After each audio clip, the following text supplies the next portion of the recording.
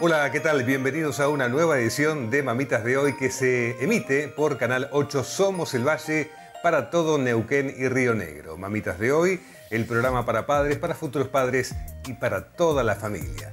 Ya mismo comenzamos con los títulos del día de hoy. La Sociedad Argentina de Hematología realizó una reunión en Neuquén sobre gamapatías monoclonales en el contexto de enfermedades malignas que pueden afectar al organismo. Hablamos con el doctor Pablo Raña, que nos explicó el detalle de lo tratado. Estuvimos con la licenciada María Sol Méndez Ortiz, nutricionista, que nos habla de la alimentación durante el embarazo. ¿Cómo es el control alimentario en las distintas etapas? Elijan realizó las primeras jornadas provinciales sobre el uso problemático de las nuevas tecnologías. Hablamos con la licenciada Wanda Leiner del Departamento de Juego Responsable del IJAN y con la licenciada Tatiana Pexan que estuvo a cargo del programa Adolescentes en Juego. La doctora Cristina Meglioranza, infectóloga, se refiere a la vacunación de la mujer embarazada en el caso de un viaje. Recomendaciones generales para el turismo.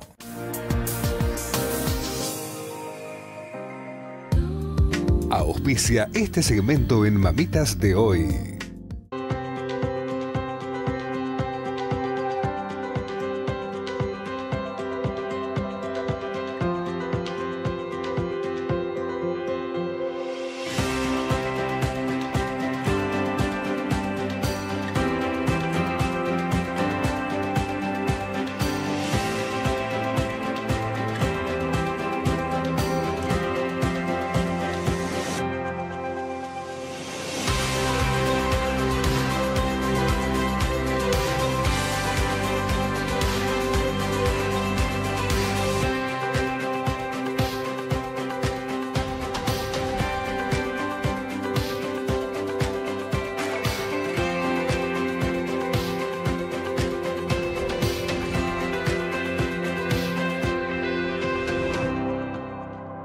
Doctor Roberto Raña. Lo llevamos en la sangre.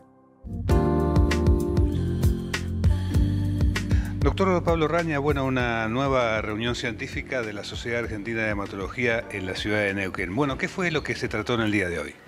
Eh, bueno, muchas gracias por, acompañarnos. Eh, sí, eh, la Sociedad Argentina de Hematología realiza mensualmente reuniones en, en su sede de Buenos Aires y eh, periódicamente saca estas, estas reuniones al, interior del país. En esta oportunidad nos, nos dio la posibilidad de, ser sede de, la reunión del día de hoy que trata sobre gamapatías monoclonales. Eh, vinieron eh, expositores locales y de distintos puntos del país a, tratar temas relacionados con, esta patología que involucra a distintos profesionales de, la salud, porque eh, hay, mucho de la parte bioquímica que, aporta al, manejo y al diagnóstico de, esta patología. Básicamente tiene que ver con el tratamiento y la detección del de, eh, problema del cáncer de médula ósea.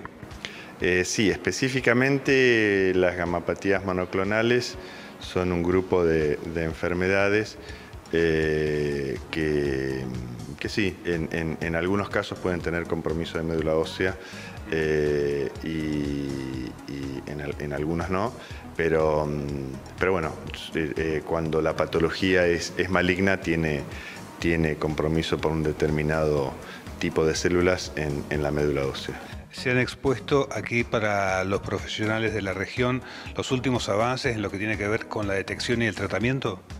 Eh, sí, así es. Eh, eh, hablamos de, métodos diagnósticos y, estudios que hacen a la estadificación, seguimiento y control al control de enfermedad residual mínima, decimos nosotros, digamos, una vez que la enfermedad está controlada, eh, hay, determinados estudios que nos permiten ir conociendo eh, si la enfermedad eh, está realmente controlada o hay indicios todavía de, presencia de la enfermedad.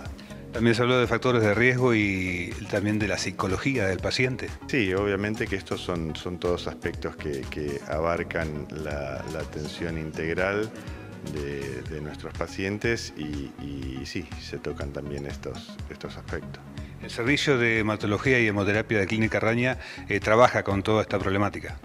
Eh, sí, eh, digamos, esto es algo que compete a, todos los médicos hematólogos y y bueno, son patologías que nosotros también en, nuestra clínica eh, tratamos.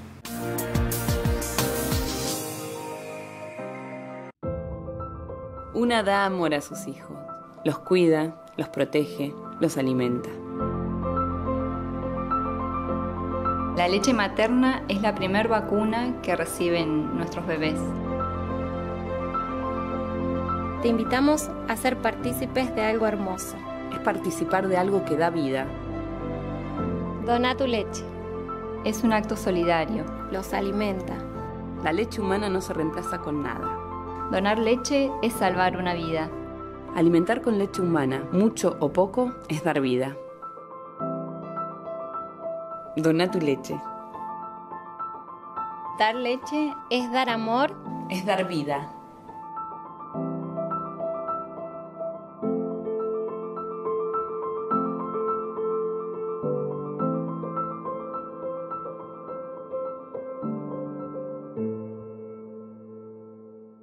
Amen Salud, servicio médico a domicilio las 24 horas, con profesional médico, enfermero, servicios de radiología y laboratorio en su casa. También asistencia al viajero, atención en consultorios y muchos más beneficios. Amen Salud, Buque Roldán 36 Neuquén, teléfono 447-1587.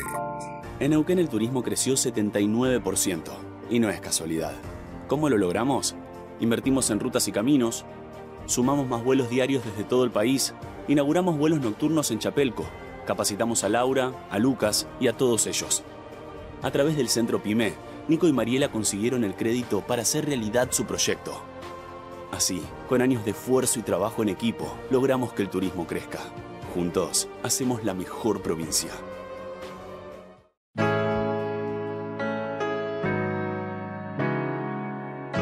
Continuamos en Mamitas de hoy. Estuvimos con la licenciada María Sol Méndez Ortiz, que es nutricionista y se refiere a cómo es el control nutricional durante todas las etapas del embarazo. La escuchamos. Pequeñas cantidades, no grandes volúmenes de comida, fraccionados a lo largo de, todo el día, siempre alimentos mejores cocidos que crudos para una mayor digestión.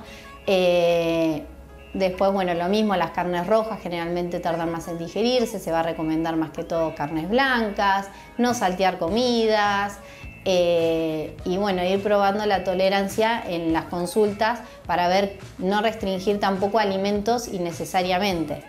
Cuando llega el momento del parto, cuando la mamá se sabe que que se están acercando los primeros síntomas o bien porque tiene programado una cesárea. Eh, ¿Ustedes recomiendan alguna alimentación especial? ¿Recomiendan el ayuno por el tema de la anestesia? ¿Se puede hablar de alguna recomendación para ese momento específico? No, porque generalmente la mamá ya si viene con las consultas nutricionales ya va a llegar de manera adecuada eh, a ese momento. Y también hay que ver en qué momento se, se planea si es cesárea, si es parto natural. A veces es impredecible cuando, cuando llega ese momento. ¿Ustedes también hacen el seguimiento del paciente en, la, en el puerperio?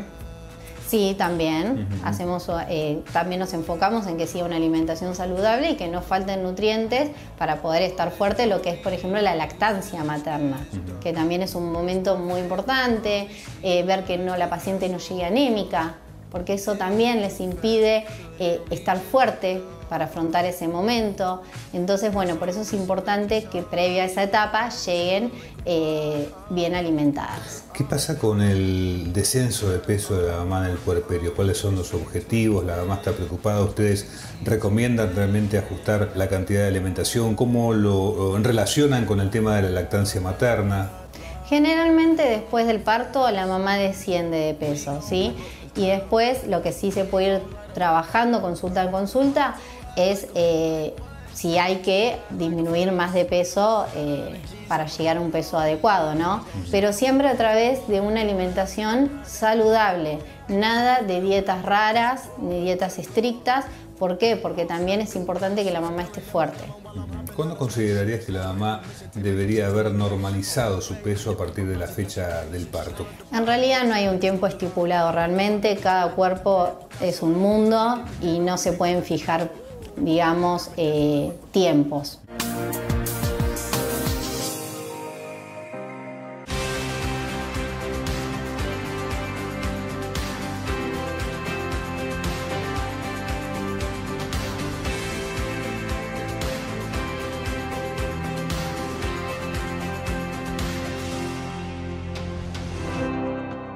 Clínica Doctor Roberto Raña. Lo llevamos en la sangre.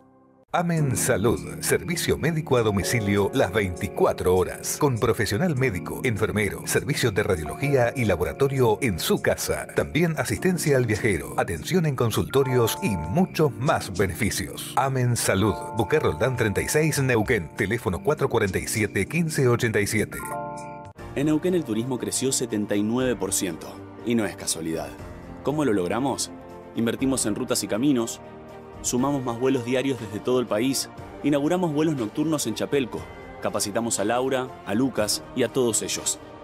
A través del centro PYME, Nico y Mariela consiguieron el crédito para hacer realidad su proyecto. Así, con años de esfuerzo y trabajo en equipo, logramos que el turismo crezca. Juntos, hacemos la mejor provincia. El IJAN realizó las primeras jornadas provinciales sobre el uso problemático de las nuevas tecnologías. Hablamos con la licenciada Wanda Leiner del Departamento de Juego Responsable del IJAN y con la licenciada Tatiana Pexan que estuvo a cargo del programa Adolescentes en Juego. Fue muy provechoso porque pudieron explayarse, pudieron explicar bien tanto cuáles son los mecanismos a través de los cuales los niños tienen que ser, digamos, acompañados y a través de los cuales también este, ellos quedan impregnados con, con las nuevas tecnologías. Y bueno, mi mamá en línea realmente no tuvo desperdicio porque ella contó desde su experiencia y no solamente su experiencia, sino que trajo un montón de material que realmente en muchos de los casos, yo estaba justamente comentando con otros profesionales, desconocemos, ¿no? Es decir, este, permanentemente están apareciendo cosas nuevas y bueno, esto pienso que bueno, la gran, el gran valor, digamos, el valor agregado que tiene todo esto es la, la posibilidad de actualizarnos y de, de, saber también cómo, cómo manejarnos frente a estas situaciones tanto con nuestros niños como cuando, si nos pasa a nosotros, ¿no? Claro, está promediando la, jornada y realmente eh, el auditorio eh, ha tomado con mucha sorpresa muchas de las cosas que se han dicho acá porque son justamente nuevas tecnologías en las que nos agarra los que somos más grandes eh, con, mucho por aprender. Con mucho por aprender, hay, hay muchos, muchos docentes presentes aquí y bueno, ellos ya me han dicho que esto les, les brinda muchas herramientas para poder seguir trabajando en las aulas, que era realmente la idea que nosotros teníamos, ¿no? que la gente se lleve alguna herramienta, se lleve conceptos, se lleve conocimientos como para poder aplicarlos en casa. ¿no? Y bueno, hasta el momento este, todo el mundo está mudo porque realmente han sido eh, unas exposiciones increíbles, maravillosas, muy profundas este, y sobre todo bueno, que nos han dado muchos conocimientos nuevos. Licenciada Tatiana Pexan, bueno, eh, has eh, llevado adelante todo lo que tiene que ver con el programa Adolescentes en Juego. En estos dos últimos años hemos tenido la oportunidad de de ser partícipes de, esas charlas, de esas capacitaciones con los chicos en las escuelas y con los padres. Y bueno, eh, hoy volcando tu experiencia, ¿no? que realmente es eh, muy valorada. Sí, eh, este programa en realidad nació hace ocho años, eh, que al principio comenzamos en las escuelas del interior y de a poco se fue concentrando más en lo que es Neuquén Capital, pasando de una modalidad que era más abarcativa para muchos chicos en simultáneo, digamos, niños, niñas, adolescentes, eh, con una modalidad más desde el teatro y, y un intercambio teórico con los chicos y después algo más eh, puntual, digamos, con grupos más reducidos en el grado, eh, donde el intercambio era más de, bueno, preguntarles qué les pasaba a ellos con, estas temáticas que estábamos trabajando. ¿Cómo, ¿Cómo, ves, digamos, esto que se haga una primera jornada provincial? Eh, es como que cambia un poquito el enfoque y lo hace un poquito más abarcativo, ¿no? Sí, además es muy bueno eh, la lectura transdisciplinaria con la cual se están haciendo estas jornadas, porque tenemos tanto la experiencia desde la vivencia de Rosa Castro, que es, eh, digamos, desde Mamá en Línea, que nos cuenta, bueno, lo que le pasó, su propia vivencia y las herramientas para detectar el grooming, y a su vez tenemos eh, profesionales desde la psiquiatría que nos dan herramientas para saber cuándo una conducta se puede volver abusiva o adictiva, una conducta en relación a las nuevas tecnologías de información informática y comunicación y bueno, y también nosotros desde el IJAN que venimos trabajando en esto desde hace muchos años. Eh, licenciada, eh, hablábamos con el ingeniero Pulera que estas son las primeras jornadas, pero seguramente es un, un puntapié inicial para un movimiento mucho más importante, ¿no? Todavía. Bueno, dado el éxito que hemos tenido, sí pienso que vamos a continuar porque realmente es un tema que nos preocupa y nos ocupa no solamente a nosotros como institución, sino a la sociedad toda. Así que bueno, este, como vos decís, fue un puntapié inicial como para empezar a, conversar de, estos temas y, bueno, y también abarcar en políticas, en políticas públicas, en nuevas leyes. Eh, es decir, no solamente aprender a cuidarnos solos, sino también buscar que el Estado también nos proteja respecto a todas estas cuestiones que tienen que ver con la Internet profunda, como decía la mamá Rosa Cortés, que nos explicaba que, bueno, eh, lo único, nosotros en realidad lo que estamos viendo es solo la punta del iceberg, pero en esa internet profunda pasan cosas que realmente asustan al más avesado, ¿no?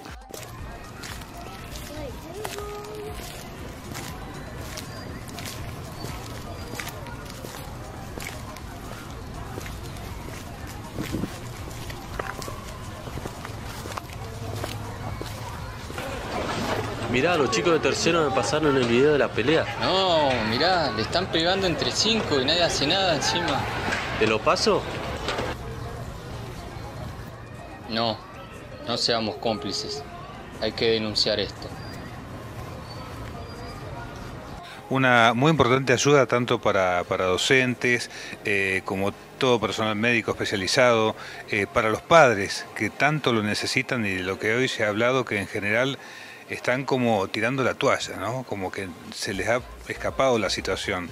Eh, es muy importante eso. Eso es justamente lo que no queremos, es decir, no queremos padres que se asusten o que mm, abandonen esta, digamos, esta, esta carrera, esta lucha de alguna manera, porque muchos padres dicen, bueno, pero ¿cómo le saco la computadora? ¿Cómo le saco el celular? ¿Qué hago? Estoy interfiriendo en su intimidad y bueno, realmente como muy bien lo explicó la doctora del órfano, hasta los 25 años se está construyendo el cerebro de los, de los jóvenes y por lo tanto necesitan una guía. Eh, hasta cercana a esa edad. ¿no? Aprovechar para convocar a los papás a estos talleres que se hacen para padres, porque por ahí no siempre eh, se alcanza a hacer la difusión, eh, digamos, a nivel social en todo Neuquén, para que se puedan acercar. Esto se hace en las escuelas y pueden participar. Y mm, respecto a los niños, niñas y adolescentes, sí es importante eh, poder estar presentes en la vida cotidiana de los chicos, viendo, bueno, no solo el uso que hacen de las redes, sino también, bueno, con quién hablan, eh, tener idea, no estar como por fuera del universo de las redes sociales, porque quieras o no, ya forman parte de la vida de los niños, niñas y adolescentes.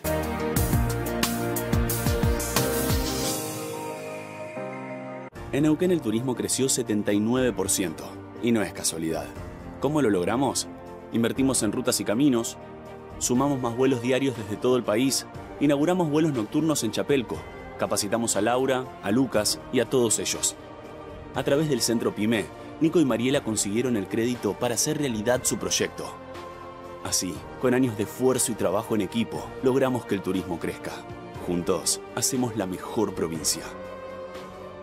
Amen Salud, servicio médico a domicilio las 24 horas, con profesional médico, enfermero, servicios de radiología y laboratorio en su casa. También asistencia al viajero, atención en consultorios y muchos más beneficios. Amen Salud, Roldán 36 Neuquén, teléfono 447 1587.